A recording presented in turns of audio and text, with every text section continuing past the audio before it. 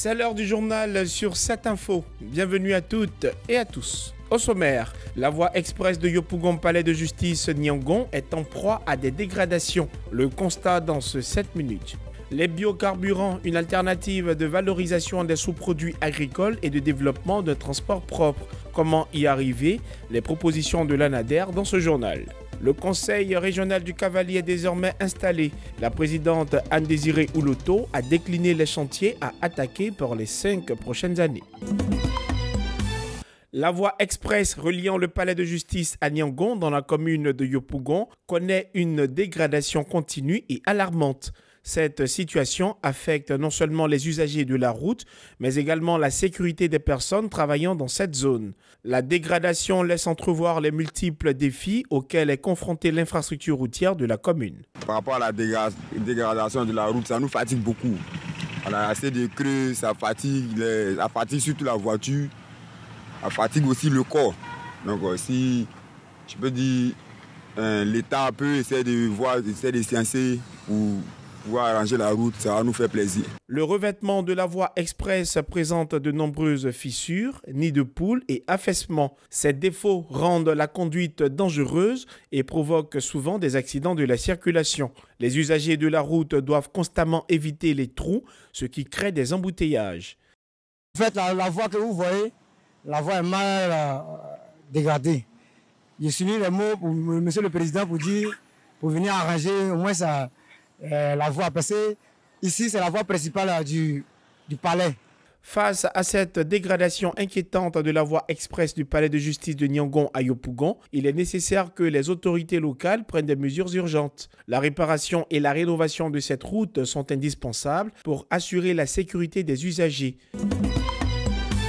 77 000, c'est le nombre d'usagers sensibilisés pendant la 9e édition de la Semaine nationale de la sécurité routière. Dans les villes de l'intérieur du pays, la sensibilisation a été menée dans les gares routières, des approches des intersections et dans les endroits à forte présence d'usagers. À Abidjan, les équipes de sensibilisation se sont rendues dans différentes communes, notamment à Bobo et Yopougon, pour sensibiliser les populations. Celle-ci s'est portée sur le partage harmonieux de la route entre les différents usagers. Le ministère des Transports, à travers l'OSER, la DGTTC, les directions régionales et départementales et toutes les parties prenantes à la mise en œuvre de la stratégie nationale de sécurité routière, va poursuivre les actions de sensibilisation autour des bonnes pratiques de partage de la route afin que la cohabitation des différents usagers dans la circulation routière se fasse sans qu'on ait à déplorer des accidents avec des blessés et des pertes en vie humaines.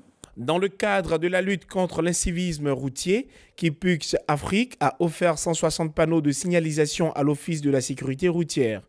Objectif, faciliter la circulation à tous les usagers. Cette édition a vu la participation des forces de l'ordre, de la gendarmerie et de la police nationale, ainsi que des structures du ministère des Transports. Le thème retenu pour cette neuvième édition, sur la cohabitation.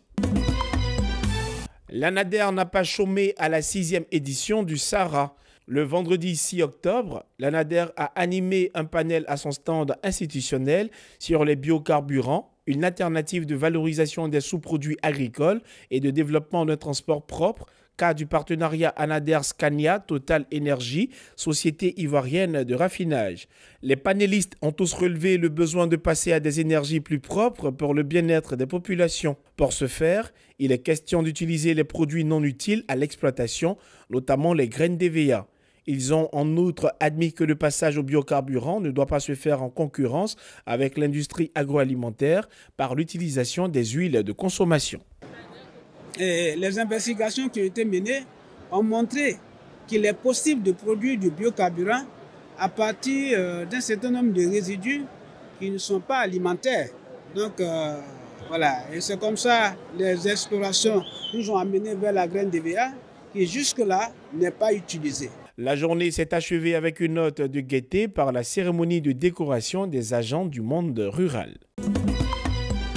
Anne-Désirée Ouloto est à nouveau présidente du conseil régional du Cavali. Les membres de ce conseil régional ont été installés le samedi 7 octobre par le préfet de région du Cavali, Diane Bassinima, en présence d'une population massive. Anne-Désirée Ouloto a profité de l'occasion pour décliner les chantiers sur lesquels elle va travailler sur les cinq prochaines années. La labellisation du riz, du manioc et du café du Cavali. L'impulsion d'une nouvelle dynamique au chantier école de Bloléquin, en vue d'en faire un incubateur d'insertion socio-professionnelle des jeunes. Il s'agira également pour nous de promouvoir l'écotourisme dans le Cavalier, de promouvoir l'économie verte circulaire dans le Cavalier.